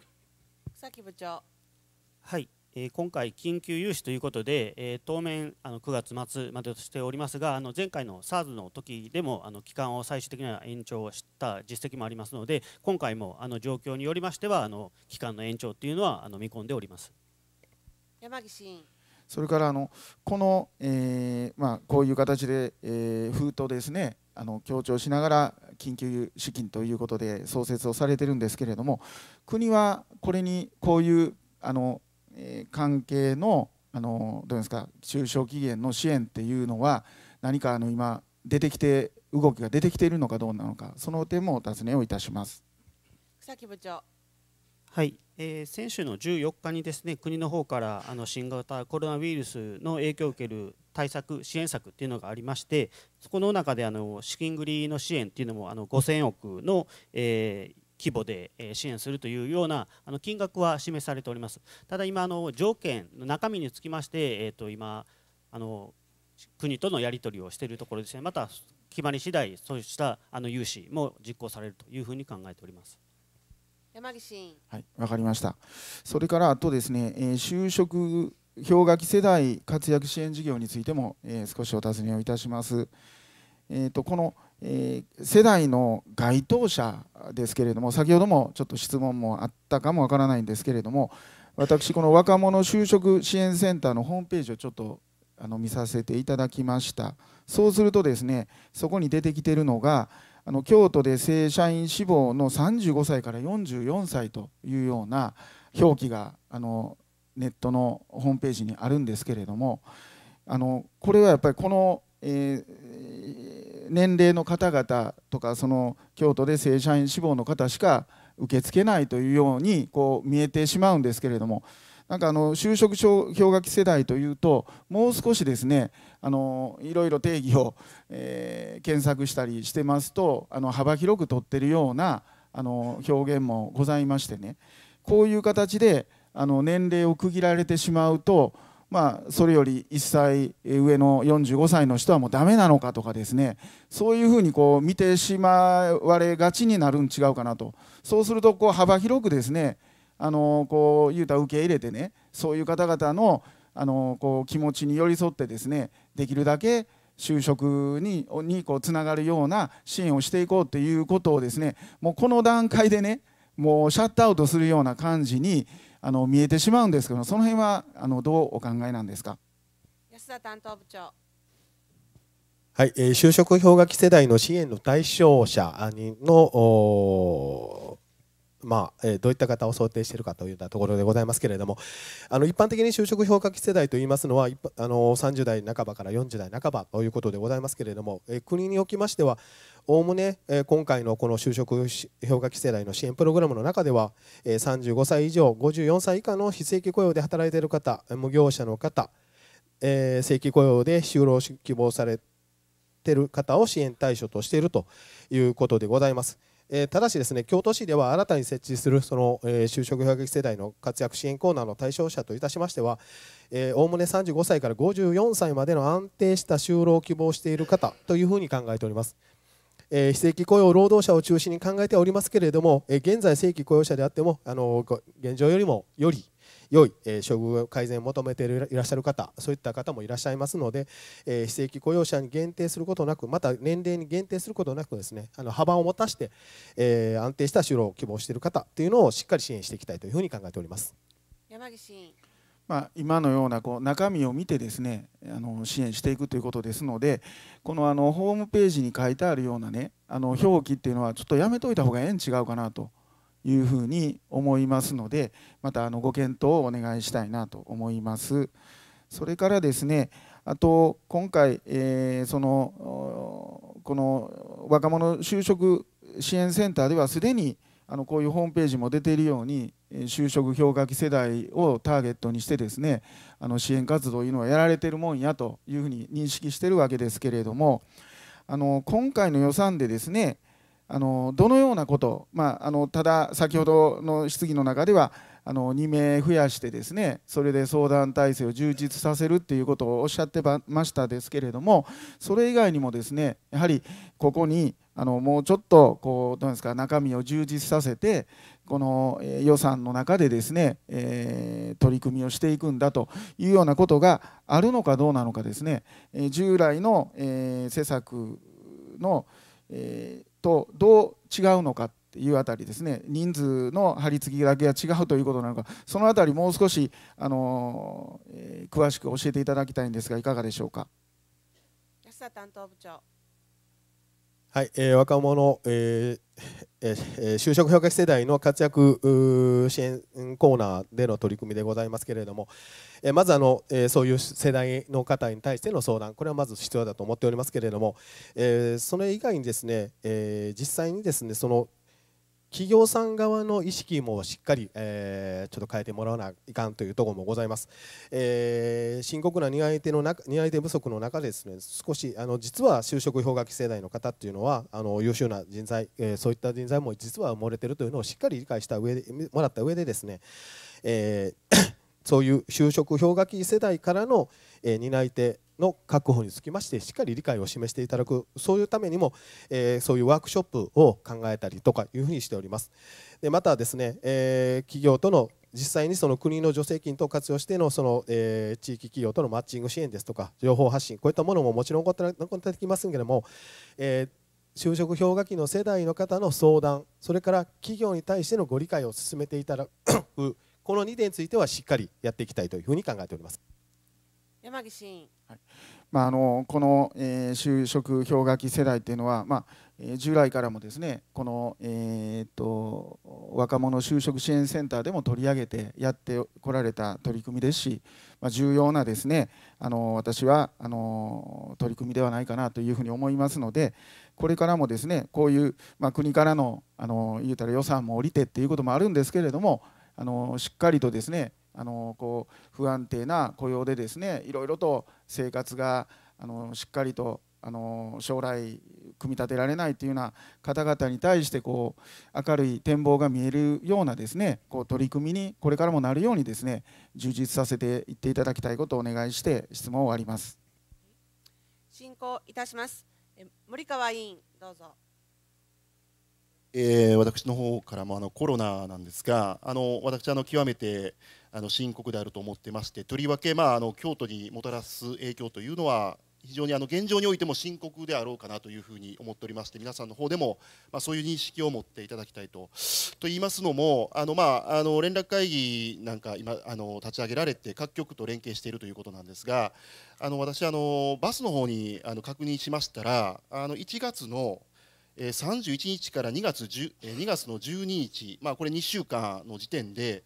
前年同月比でバスが、えー乗降客2万3000人減少していると。地下鉄においては、まあえーそこまではないんですが1万1000人減少していると。改めて、まあ、観光郊外なんて言われてましたけど改めて私はあの観光でこの郷土市というのはこのバス事業においてもいろんな事業においても、まあ、経済においても成り立っている町なんだなというふうに思っているところなんですが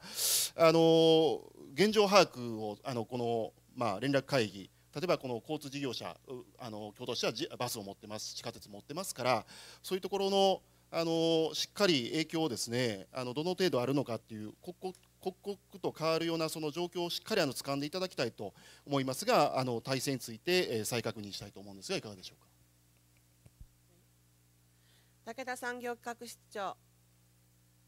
はい、ありがとうございます。あの私もですね、あの私どもといたしましても大変今回のコロナの影響はすでに現時点で深刻であるというあの認識をしておりまして、えそのことはあの全く同じ考えでございます。であの先ほど来申し上げているのはあの、まあ、融資の件数とかですねそういうものが今の時点でバーッと立ち上がってきているわけではないのですが現状は非常に深刻でで今後長期化するとこれが本当にどこまで広がるのかということをま懸念しているということでございます。であの交通局のバスのあの事業についてご指摘をいただきましたけれどもあのそういった乗客数の減少なんかにつきましても情報は共有しております。また嵐山ですとか、えー清水寺の辺りですとかさまざ、まなえーいわゆる今まで混雑が問題になっておりましたような有名観光地であの目に見えて人が少ない現状ということが今起こっていることも、え認識をしておりまして、えこのままではもう大変な影響がもうどんどん拡大するということを、え事業者の皆さんと一緒にま危惧をしてですね今後のま対応を考えていかなければならないというところでございます。ただあの先ほども少し申し上げましたけれども現時点では感染の拡大防止というところにですねまずそこにえウェイトを置くということでございますので、まあ、あの観光客の方にまあこう来ていただくことでありますとか、まあ、そういったことについて、えーいつのタイミングでこう V 字回復を目指していくのかというところについてもあの現在、えー慎重にまあ考えているというそういう状況でございます。森川委員はい、あのバスのその状況、えー乗降客のその減少をであの少し付け足しますと、えまあ、私、先ほど申し上げた1月31日から2月12日までの2週間の時点で、えー前年同月比、えーバスでは2万3000人減少と、でそのえー1月31日のその前の1週間を見ますと、えーバスがあの1000人の減少であるんですね、前年同月比。急にその急速に減少しているということですからでこのあの影響のこのカーブというのはあのそのまま私はその観光業で成り立っているとりわけ観光業で成り立っておられるその業界の皆さんへの売り上げの影響と見るべきだなというふうに思っておりましてですると当然これ融資っていうのはこれ当然あのあってしかるべきですし今回の制度を作られたっていうのは大事なんですがこのあのまああの当然何かの尺度を持って審査しないと確かに融資できないっていうのは分かるんですがこの1ヶ月まあ3ヶ月通常3ヶ月のところ直近のその、え1ヶ月の売り上げということをおっしゃいましたがやはりあのもう見込みでもうこれはもうダメですよと。まあ、あの目に見えて日々あの商売されている方でしたら一日一日の売り上げがもう減少しているということでもうリアルにそれが分かるわけですからそれがリアルな悲鳴として金融機関に駆け込んでこられてそれでもう融資の準備をしますと。まあ、あの書類の間に合わせるのは後からでもいいですよというような少しやっぱり柔軟な対応がですねあの求められるんじゃないかなというふうにも思いますからあの当然皆さんのところで審査をされるわけじゃないんですがその審査の状況を審査するという立場でぜひあの、えーしっかりあの困っている方に届くようにお願いをしたいと思うわけなんですがいかがでしょうか？草木、えー商工部長はい、えーまあ、審査なんですけども2月6日からあの受付は開始してますがあの売上の見込みにつきましてあの1月の売上から対象としてますのであのそういった部分につきましてはこちら最大限配慮させていただいたところです。ただあのやはり審査にはある一定時間を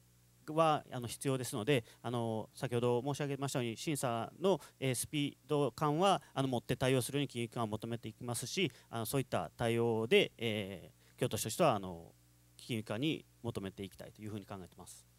森川委員ですので、まあ、引き続きその、まあ、審査状況なんかを含めて貸し出し貸し出し実績だけではなくて審査状況なんかも含めてしっかりあの把握をしていただくということをお願いしたいと思います。でこれあの私融資条件あの見ましてあの先ほどあの他の委員からの質疑でもあの聞いていて思ったんですがこの利率が1.2%ということですけどこれ保証料は別になるということですから実際のその貸し出し金利というのは、ま、1.2を上回るのかなというふうに思ってましてただ1.2である、まあ、1%台ではこれ果たしてこの低金利の時代に本当にこの安いのかどうか金利がこれあの優位な条件なのかどうかっていうのは少しちょっと疑問がありましてただあの制度上そうあのもういっぱいいっぱいやってるんですということだったらこの事業については私はあのまあ、やむなしかなと思うんですが仮にこの予託金をですね今回10億ですが、まあ、これを規模、まあ、100億乗せるとあのこの、えー、融資条件1.2%ではなくて、まあ、1になるとか0%台になるとかそういったことは可能なのかどうか。でまたこの合わせてお聞きしたいのがそもそもこの予託金の制度なんですが今回これはあの10億円しか用意できなかったのかこれまあ先ほどのあの趣旨なんですが50100こう積むのにあの京都市は特にどっかあ一般会計からこれ出さないといけないのか。そうではなくて短期で、え借り入れを起こしてるんで一般会計にはあの影響はないのか。あの私が何が言いたいかと言いますと厳しい財政状況ですから絞って絞ってこれ10億を用意したのか。いやそういうものではないですと。予託金の制度というのはどこどこかから京都市がまあ調達すると。ただ調達するにしてもあの京都市に対する財務状況を見た上であの貸すわけですからあの本市の厳しい財政状況がこの予託金の規模に影響していないかどうかをあの確認をしたいと思うんですがいかがでしょうか？草木部長。はい。あの予算の関係で言いますとこの10億は予算、えー、京都市からあの金融機関にまあ一時的にとはいえ預けるお金ですのであの本来他に使うべきお金を予託金に回すということでやはりそこはあの慎重に厳密にあの算出していく必要があるものであります。で10億っていう、まあ、金額ですけども、まあ、先ほど申し上げましたように、まあ、一般昨年度実績で考えますと、まあ、約300件の、えー、件数に対応できるということで、まあ、3月1か月というふうな、えー、期間を見込みますと、まあ、京都府とも十分調整した中で今回10億というような金額を、えー、決めさせていただいたというところです。で、まあ、4月以降は来年度予算の方でまた対応していきますのでもしあの足らなくなればもちろん補正という対応も考えられますので現時点ではあの十分精査した上での10億というふうに考えております。森川委員ただまあ300件の対応ということで私は300件であの件数自体もあの本当にまあ分からないです。300件が多いのか少ないのか分からないんですが、まあ、感覚的な話なんですが困っていれいられる方っていうのはあるいはあの資金にね非常にあのお困りの方っていうのは本当に300件かなっていうふうにも思いますからこれはもうあのあの周知の方もどんどんやってあのいただけばいただくほど件数が上がってくるでしょうから、まあ、あの柔軟に予託金はやっぱり積み増しを、まあ、来年の予算ということですけど積み増しも含めてやっぱり柔軟に対応できるようにお願いをしたいと思います。でそれとあの利率のが高いか安いかということはあのご答弁もいただきたいと思いますしであとあの予託金を増やせば利率をさらに下げることができるのかっていうのも確認をしたいです。であとですねあとまあそうですね。まずそれをあの確認をさせていただきたいと思います。草木部長。はい。あの利率につきましては、まあ、先生おっしゃる通り預託金の金額によってあの利率の優遇っていうのは変わってきますが、まあ、あのそこはあの件数との比較にもなりますのであの一概にその利率預託金を上げたからといって金利をどんと下げられるっていうものではありません。あの金利っていうのはやはりあの金融機関様とも十分調整した上で今の現状の中でこの金利が、まあ、あの最優遇というふうに、まあ、先ほど申し上げましたが今ある市中の、えー、信用保証協会を通した、えー貸し出しという中では、えー低い金利というふうにさせていただいているところでございます。森川委員はい、わかりました。まああのあとは最後にまあ周知ですね。まああの経済界、えーえー商工団体と連携してこの制度を周知するということですけど、各金融間機関の窓口でもそういう対応をしていただくようにあのお願いをしたいと思います。あのこういう制度があるということを知らないままにっていうのはもう一番不幸だと思いますので、ぜひ周知の方も頑張ってやっていただきたいと思います。で次にあの就職氷河期世代あの私からもあの、まあ、お願いなんで、まあ、今後に向けてのお願いになろうかと思うんですが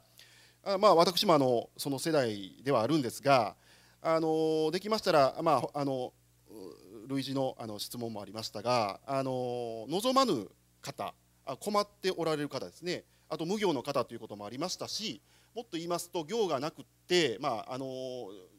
まあ、引きこもりとはあのなかなか言えないですが引きこもりがちな方にあの本当に届けられるあのこういう目線というかこれは制度だなというふうに思ってましてあのなんでそこのニーズの実態把握を、まあ、されるというようなお伺いをしたと思うんですがやはりしっかり分類していただいてあのまあ、一番お困りの方にやっぱり届けていくということをきめ細やかにあの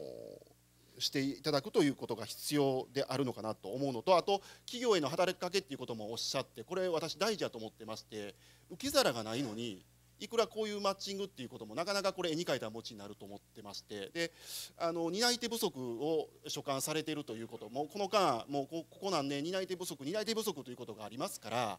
あの少しやアルバイトあるいは非正規ではなくて末永くあの今はまあ給料が低いですけど末永く働いていただくことによって、まあ、設計ができる労働者にとってもあるいは企業にとってもできるんじゃないですかと。やっぱりそういう働きかけをあの企業の方にあのしていただくようなことはこれあの京都市でないとなかなかできないのかなというふうに思ってまして目先の求人のその募集の状況だけでマッチングを図っていくということでいうとどうしても当然あの企業は若い子を育てようとか若い子であれば給料が安くて済むとかいうことの目先のそのマッチングにどうしても追われがちになるのかなと思いますんで、ですんで私はそうではなくてまああのもちろんこのこうした氷河期の方のニーズをまず捉えてあの捉えていただくということがまあ大事だと思うんですけど、まあ、苦労を経験されたからあある種その、ね、あの真面目に、えーしっかりと働いていただけるんですとかそういったこうマッチングっていうことがあってこそのこの就学期就職氷河期世代のあの応援ということになると思いますんで。やっぱりあの、まあ、業者に委託されるということで、まあ、体制なんか今後ちょっとあのお伺いしたいと思ってるんですけどもあの京都市としてもあの民間でよくあの就職マッチングってこれあると思うんですけど京都市でないとできないマッチングっていうことの目線は絶対こう委託されてもですねあの持っていただきたいなというふうに思います。でそれとあの、まあ、あの山山岸先生もおっしゃいましたあの氷河期世代こう何歳から何歳という表記の少し変えたらどうかということでこの間あの私、まあ、あの他の委員のあの先生方もおっしゃってたと思うんですけど女性という視点であるあるとか私は最近問題意識持っているのはあの障害者のあの自立促進、えー就職していただくということであるとかあの女性障害者あとはあの高齢者っていうこともありますしあの私この若者就職支援センターっていうことのこの若者ということの表記であるとかあり方をですね少し見直す時期にあるんじゃないかなと思ってましてただそれを取っ払って就職支援マッチングセンターをするっていうことで言うとじゃあハローワークとのあの整理はどうなるんかっていうことがあろうかと思うんですがただあのいろんなニーズをきめ細やく京都市が掴んでいるということで言いますと私はあの主体的にあの若者ということを取って全世代型あるいはいろんなお困りの方のあの就職のマッチングをするということがあってもいいんじゃないかなと思ってましてあの、まあ、これはあの次年度というか今後の取り組みになろうかと思うんですがあのまあにわかにこれ就職氷河期世代のこれ支援事業でこれ否定するものではないんですがあのこの世代だけではなくてお困りの方っていうかマッチングがうまくできていない世代あるいは環境におられる方っていうのはもう何もこの期間に限った話ではないですしぜひあのちょっとそこは、まあ、あのそういうことも見越した上であのこの事業をまずはあのやっていただきたいなと思うんですが今後の考えなんかをお聞かせいただけたらと思うんですがいかがでしょうか？安田担当部長はい、えー、就職氷河期世代の支援についてでございますけれども就職氷河期世代のあの問題につきましてもこれまでからあった問題でございましてこれ今に限った問題ではございません、えー、ただ今後3年間でしっかり集中的にやっていこうというものでございます、えー、実施にあたりましてはしっかりあの、えー、先生ご指摘にもありましたように個人の状況ですとかニーズに合わせましてよりきめ細やかな試験を持ちまして重点的に行っていきたいというふうに考えております。でまたあのこの世代への支援といいますのはあの中小企業における担い手不足これの解消にもつながるというふうにも考えております、えー、こういう企業の持続的な発展につながる重要な取り組みでもありますので、えー、もちろんその就職氷河期世代への方々の相談それはもちろん聞きますけれども企業の方に対してもしっかり、えー、その掘り起こしていく理解していただくえー、理解していただいて、えー、そういう受け入れていただく企業を増やしていくというのはしっかり考えていきたいというふうに考えております。であと先ほどご指摘ありましたあの若者就職センターの対象年齢がですねあのまあ、35から45とかなっているということなんですけどこちらについてはしっかり直していきたいというふうに思っておりますしあと、えー、対象者につきまして、え、基本的に就職氷河期世代というの中にですねえー、非正規雇用の方それから無業、えー、現在無業者の方ですとかあと引きこいわゆる引きこもりの方そういったいろんな方がいらっしゃいます、えー、そういったあそれぞれニーズに応じましてでまた関係局ともしっかり連携し連携しながらで特にこの就職氷河期世代につきましてはオール京都でしっかり取り組んでいくというのを確認している事業でもございますので、えー、効果的な取り組みをしっかり、えー、進めていきたいというふうに考えております。進行いたします、え、大津委員どうぞ。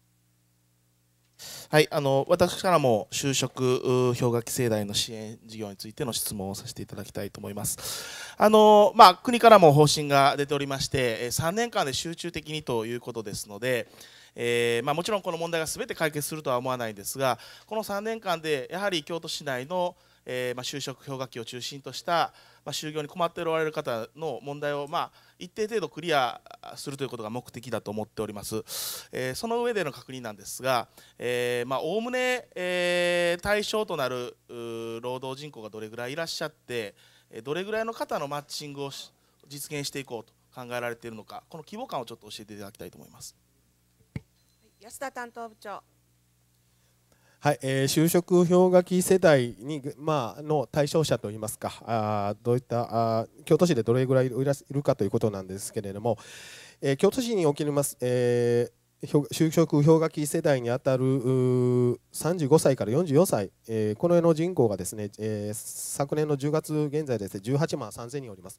でそのうちあの、え、29年のこれ就業構造基本調査になるんですけれども、え、雇用者数が13万8800よちその中で4万1900が非正規という調査結果が出ております。でただその中でもですね不本意な非正規、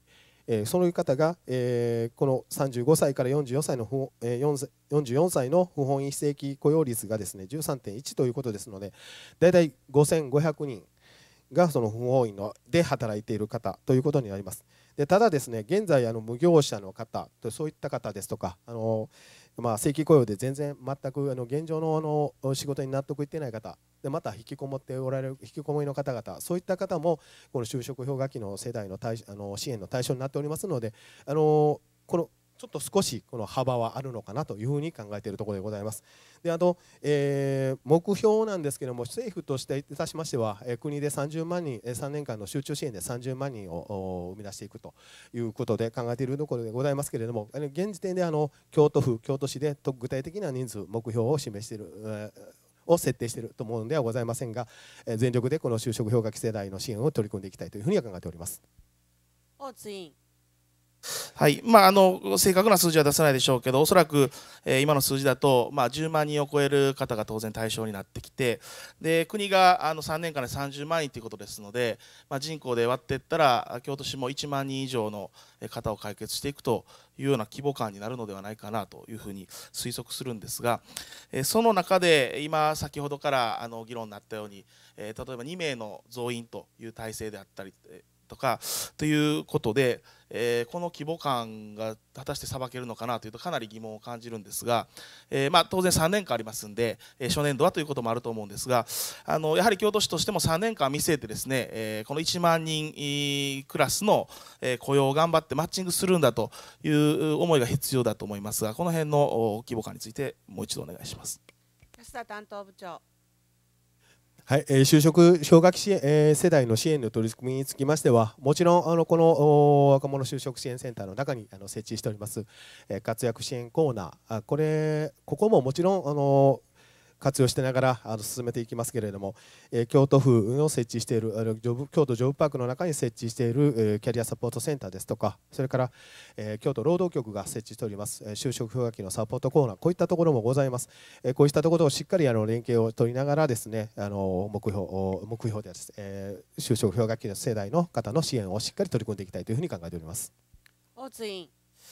はい、あのー、ぜひですね、あの規模感は追求していただきたいなということを改めて申し上げておきたいと思います。えー、そしてあの先ほどから対象者の年齢であったりいろいろ出ておりました。で、あの幅広くということで、まあ54歳までということと、まああの一応下は30代半ばということなんですが、私ちなみに今、えー、来月37歳になるんですが、え、ターゲットとしてはこの墓に入ってるんですけど、え、私の就職活動の実感から言うとちょうど私ぐらいの世代から3年ぐらいは実は景気が比較的良くてですね、新卒採用が盛り上がってた時期だと思います。でその後リーマンショックが起こってまた再びちょっと苦しい状態になったということがあってですね、えー、逆にこの35歳より少し下の方が困ってらっしゃるのではないかな。で逆に30代の後半のうちの、まあ、前半の、方々っていうのは比較的恵まれた世代かなということもありましてやはりちょっとこの辺の年齢というのは、えー、不用意にま設定するよりはやはり先ほどから議論あったように、え困っておられる非正規の方無業者の方といった、まあ、こういう考え方にやはり置いた方が適切ではないかなと思いますが改めてお願いします。安田担当部長。はい、えー、のご指摘の通りですね。あの就職氷河期世代という一般的に言われているものが30代半ばから40代半ばですけれどもあのただあの京都市の政策といたしましてはですねあのまあおおむねおおむねという言い方してしておりますけれども35歳から54歳まで。でなおかつですねあの、まあ、非正規雇用が中心になるとは思うんですけどもそういった方が中心になるとは思うんですけれども安定した就労を希望している方ということで少し幅を持たせたような形で、えー、しておりますので、えー、いろんなあのそれぞれ事情もございます。あの相談に来られる方の事情もございますあると思いますので、えー、そうした方々にきっちりあのこの対象を線引きすることはなくてですね、えー、柔軟にそこは対対応していきたいというふうに考えております。大津委員。はいえー、続いて先ほどもこれもお話ありましたが、まああの今までの自然なあいわゆる労働市場では結局なかなかうまく機能せずにここまで来ておりますので、えー、何かしらのことを加えないと、えこの話は進まないというふうに思ってます。で先ほどはまあ京都市の場合は、え担い手不足もあるので、えー、要は採用がうまくなかなか思い通りにいってないような中小企業を中心に、えー、そこの担い手として提案をしていくと。いうことだと思います。でこれ以外にですね企業にとって、え、このことをするインセンティブになるようなこと、え、もちろん今までも助成金などたくさんあったと思うんですが、え今回を機に新たにこうインセンティブとして加わるようなことは他には何かないんでしょうか？安田担当部長。はい、えー、っと中小、えー、企業側のインセンティブということでございますけれども、えー、っとこれはこれまでもござあるんですけれども、え、企業例えば非正規、新たにそういう正規雇用でそういう年代の方を採用した場合あるいは非正規雇用で、え、その企業で、え、雇ってた人を正規で雇う。こういった場合にあの助成金を出すという制度がございます。これ国の制度でございますけれども、そういった制度をしっかりですね、あの企業さんにも、え周知した上で、でああのその助成金があの一定期間支払われるあそう雇った場合にっていうそういう助成金でございますけれどもその助成金の活用をしっかりあの周知していただいた上で、えー、周知周知した上でですねあのしっかり企業さんにもその就職氷河期の人たちの採用についてご理解を示していただくようにというふうに取り組んでいきたいというふうに考えております。大津委員はいあのまあまあ今までもあった制度は周知されてないものを周知していただくというのに加えてですねやはり少し知恵を絞りながら、えー、企業側がやはり採用しようと思える何かこう手立てがもう少し考えていかないといけないのかなというふうに、えー、正直感じております。であの、私、大阪のですねえー、ジョブカフェというところで昔働いてた、まあ、これはあの内定者アルバイトで働いてただけなんですがこれはちょうど私が新卒で入る時なのでの時に若手のまあフリーターや無業者を中心に、就職を手伝うということで、えーまあ、当時の就職氷河期の方々が、まあ、同じような層が対象やったわけです。で、えー、結構この施設も苦労しながらやってたんですがやはり、まあ、例えばハローワークとも連携しながら、そしてハローワークに出てる求人に対して、えー、もう少し何て言うんですかねこう採用の条件を緩和したりですとか、えー、そういうことを提案しながらマッチングをするというようなことをなんとかやりながら件数を増やしてた記憶があるんですがやはりこういう、まあ、ハローワークも含めてですねそういうとことの接点であったりとか企業への提案というところが比較的この事業にとっては肝ではないかなと私経験則上思うんですがこの辺りの何ていうんですか動きっていうのは何か考えられてますでしょうか？安田担当部長はい、えー、まず、えー、就職氷河期世代。えー、例えばこれのあの年齢を限定して募集というそういったものもございます、えー、年齢限定募集解禁というものがございまして就職氷河期世代の就職の後押しを目的といたしまして例えばあのこの世代に限りましてですねあの採用活動を、え、解禁する募集を可能とするという動きが今あるというところでございますでまたあの、えー、ハローワークですとかジョブパークそれから、えー、この新たに設置するこの活躍支援コーナーなんですけども、えこれについてはしっかり連携する必要がもちろんあると思っております。あのプラットフォームというものをあのこの都道府県に設置してましてこれをあのこれをベースにですね就職氷河期世代への支援を進めていくということになっておりますけれども、えこの中にはあの労働者側それから、えー、労働者団体使用者団体こういったものもあの入ってまいります、えー、求職者側ですとかそれから企業側の意見もしっかり踏まえて効果的に効果的にあのこの就職氷河期世代の支援をしっかり進めていきたいというふうに考えております。大津委員はい。あのまあ、冒頭にも申し上げましたけどやはり、えー、今の国の考えからからいくと相当数のマッチングをしていこうと。でしていくべきだという状況だと思いますので、まあ、あの取り急ぎの始まりは今の状況でいいと思うんですが3年間の中でですね、えー、試行錯誤しながらあのぜひこの事業に関してはあの特に成功させていただきたいなと社会的なインパクトも非常に大きいですしあのぜひあの予算をかけてでも成功させていただきたいなというふうに思います。そしてあの私もちょっとコロナの件についても少し質疑をさせていただきたいんですが、まあ、これも先ほどから、えー、いろいろ議論がある中で少し重複する部分もあるんですがやはりこの融資をするという中で、えー、融資の基準というのは非常に難しい、えー、線引きが必要だなと思っておりまして、えー、これ今回まあ10%の売り上げが下がったえところに貸付ということだと思うんですがこの貸付額の決め方というのはこの売上の減少の例えば何ヶ月分とかこういうことを上限に置かれるという理解でいいでしょうか？さ部長はいえー、貸付額につきましてはあの特にその10%範囲内というものではありませんであの企業の方があのこれだけの運転資金を借りたいというお申し出の中で審査するものでございます。大津委員はいあの当然、えー、将来さらに下がる可能性もありますので、えー、そういう方の方がいいかなと思うんですがそしてこれ、あの先ほどもありましたけどもともとちょっと業績の悪いところなんかは、えー、銀行の、まあ、いわゆる貸付枠をも使い切っているケースって結構あると思うんですが、えこういうところでも今回追加で、まあ、枠を広げれるという理解でいいでしょうか。草木部長。はいあのおっしゃる通りでしてあの別枠で今回使えるものですしあの以前に借りた金利の高いものの借り換えも含めて対応可能でございます。大津委員。はい。であのまあ京都市としては当然、え大大弁済の、えリスクを背負うという中でですね、えー、まあ、大弁済を恐れては当然できないわけですが、えそうは言っても一定この程度の大弁済を想定してやるという中で、えー、この業績の状態で帰ってくるのかどうかというのは当然判断が保証協会も必要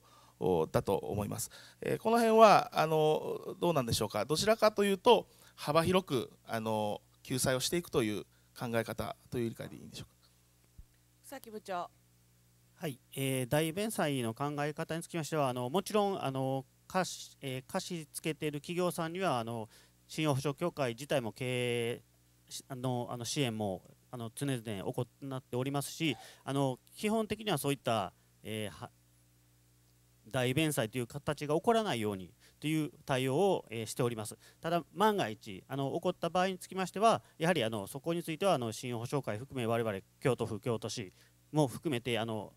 あの契約に基づいた保証をしていく必要があると思いますのでそういった対応について、えー、引き続き行っていくというものでございます。大津委員はい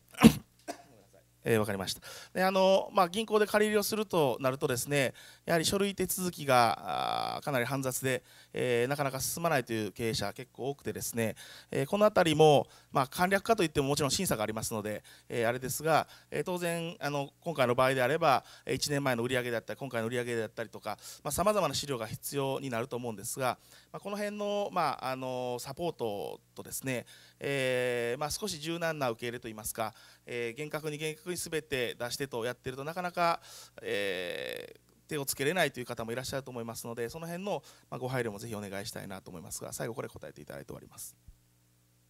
草木部長。はいあの緊急融資ということですのであの相談に対してあの真摯にあのきあの聞きましてあの、えー、審査もあの、まあ、行った上ではありますけどもあの先ほども申し上げてますようにあの経営にあの十分あの支援できるようなあの体制で審査も行いながら我々もスピード感を持って対応していきたいというふうに考えております。はい、